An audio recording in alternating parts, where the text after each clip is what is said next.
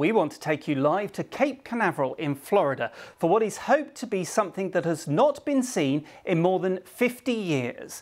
The first American spacecraft to attempt to land on the moon in more than half a century is scheduled to blast off in the next few minutes. Taking us through the launch is our science correspondent Jonathan Amos and my colleague Rachel McAdam.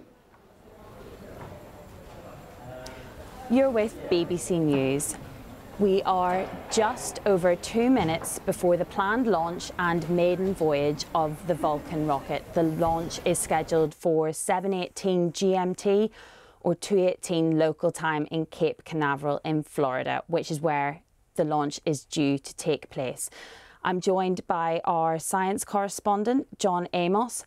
So, John, what are we expecting to see in the next few minutes?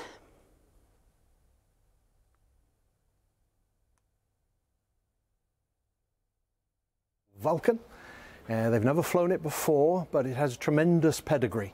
Um, so the rockets that came before this from ULA have launched uh, many national security missions for the United States, spy satellites, weather satellites, missions to Mars, all sorts of things. This is their new rocket, and on the top of it today we have the Peregrine lander, aiming to make the first commercial landing, soft landing, I emphasize soft landing on the moon uh, and also, um, you know, the first American soft landing on the moon since the end of the Apollo era. Apollo 17 was the last soft landing.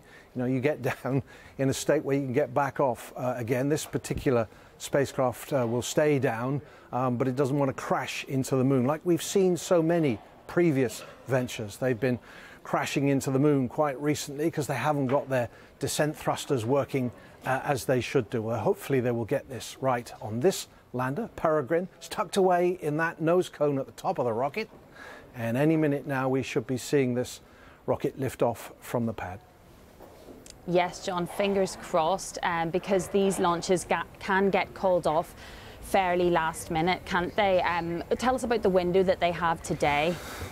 Yeah, they've got about 45 minutes to get off uh, today. Uh, it varies depending on which day uh, of the week, uh, a month uh, they go.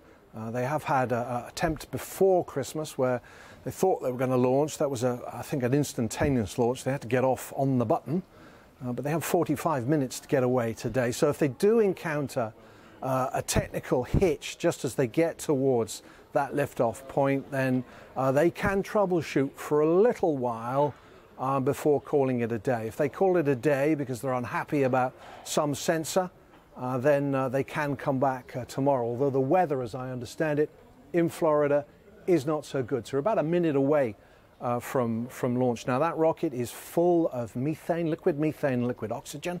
that is what is going to power it off the pad. Um, and it should fly for a couple of minutes uh, before the solid rocket boosters on the side come away. Yeah. And then it'll keep going off into space. So fingers crossed. Yeah. 10 seconds to launch now, John. So we'll just sit back and watch.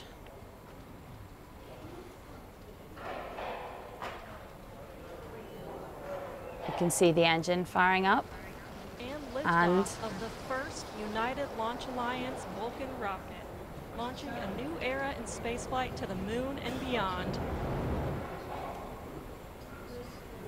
There we have it.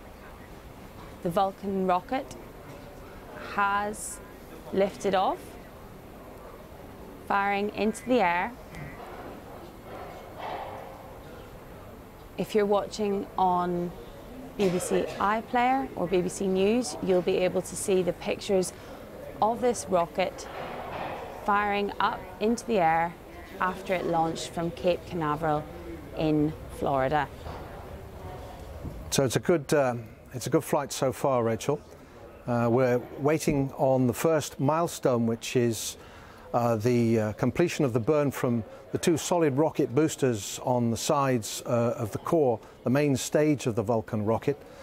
So those solid boosters that help it get off the pad, they'll burn for about a minute and 50 seconds and then they'll shut down and they'll be ejected off to the side and the main core stage will continue on uh, for a few minutes more.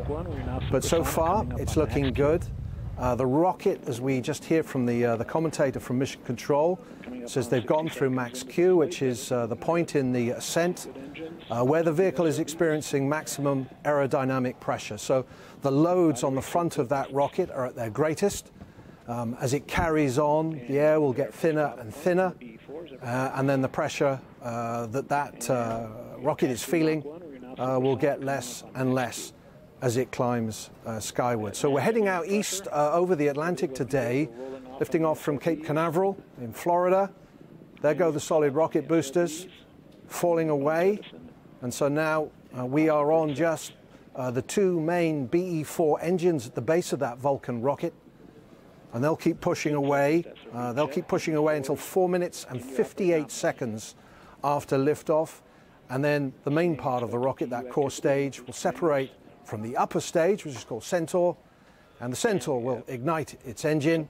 And it's uh, got a tank full of uh, liquid hydrogen and oxygen, and it will continue on then for another few minutes. Um, we're not expecting the, uh, the lander to come off the top of the rocket until about 50 minutes after liftoff. There you are. There's a, it's a marvelous view of the solid rocket boosters falling away. Absolutely terrific.